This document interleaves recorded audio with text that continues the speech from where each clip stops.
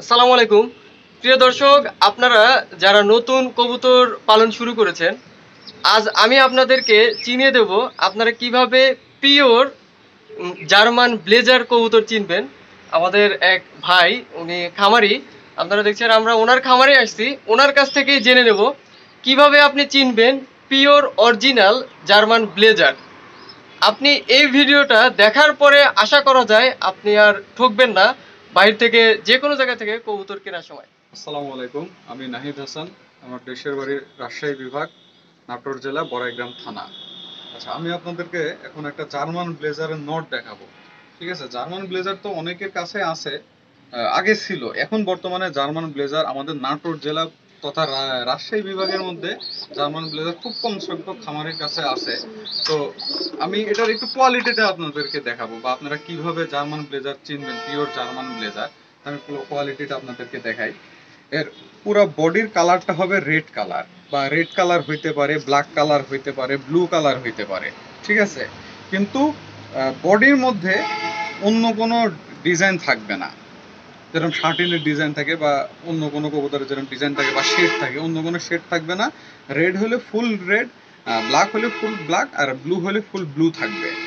আর এটা ফুল red colour সাইজটা থাকবে অবশ্যই অনেক বড়। এটা দেখতে অনেকটা মুখির মতো। মুখির যেরকম মাথার উপর একটা টিপ থাকে সেরকম মুখির মতো থাকবে কিন্তু আসলে মুখী না। মুখির সাথে একটু একটু সম্পর্ক আছে এদের। তো সাইজটা অনেক বড় হবে। পায়ে অবশ্যই মাপ থাকবে হ্যাঁ? পায়ে মাপ থাকতে হবে পায়ের মাপগুলা অনেক যে পটারের মতো পটার পটার কবুতরের মতো বা হচ্ছে আপনার আহ, অত বড় মাপ থাকবে না ছোট মাপ থাকবে মোটামুটি আড়াই ইঞ্চি বা তিন ইঞ্চি সাইজের মাপ থাকবে। আর পায়ের নখগুলা এই যে পায়ের নখ হ্যাঁ? এই যে পায়ের এটা নখগুলা খুবই ইম্পর্টেন্ট এটা হ্যাঁ, পায়ের নখগুলা সবগুলা ব্ল্যাক কালার থাকবে সেটা যেই কালারই হোক না কেন। কালো কালার হোক বা রেড কালার হোক বা ব্লু কালার হোক আপনার এই পায়ের নখগুলা সব কটা ব্ল্যাক হইতে হবে।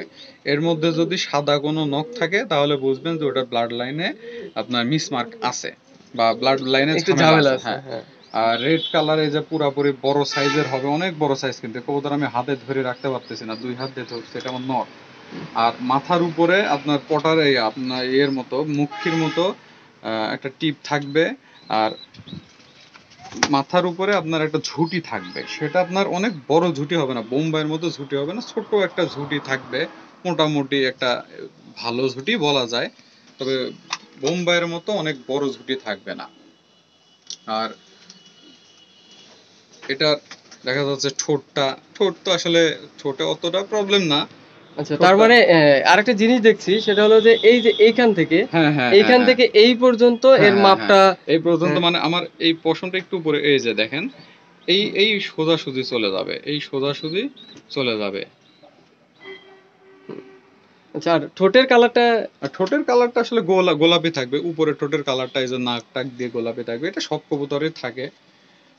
মানে আপনার গিরিবাস কবুতরের ক্ষেত্রে যেটা ময়না ঝাঁক কবুতর বা গিরিবাস কবুতরের ক্ষেত্রে ঠোঁটের কালারটা অনেকটা ডিপেন্ড করে।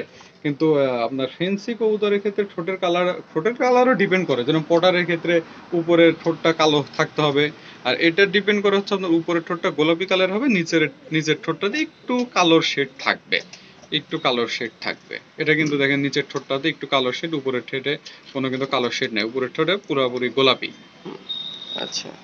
আচ্ছা এর পাখাগুলো একটু হ্যাঁ, দেখি। পাখাগুলা আপনার আমি তো আগে বলছি যে পাখায় কোন এক কালার হ্যাঁ মানে ফুল একদম এই মাথার এই খোপা থেকে শুরু হ্যাঁ, করে হ্যাঁ। একদম লেস পর্যন্ত এক কালার হবে। কালার থাকবে একদম ফুল এক হ্যাঁ। কালার দেখেন আপনি এর বডিতে অন্য কোনো কালার পাবেন না। আর এটা কালারটা হবে ডিপ একদম ডিপ কালার হবে। ব্ল্যাক হলে একদম ফুল পিওর ব্ল্যাক হবে।